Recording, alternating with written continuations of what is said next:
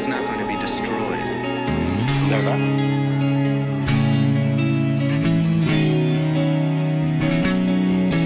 Rome was destroyed.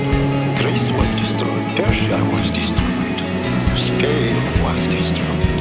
All great countries are destroyed. Why not yours? How much longer do you think your country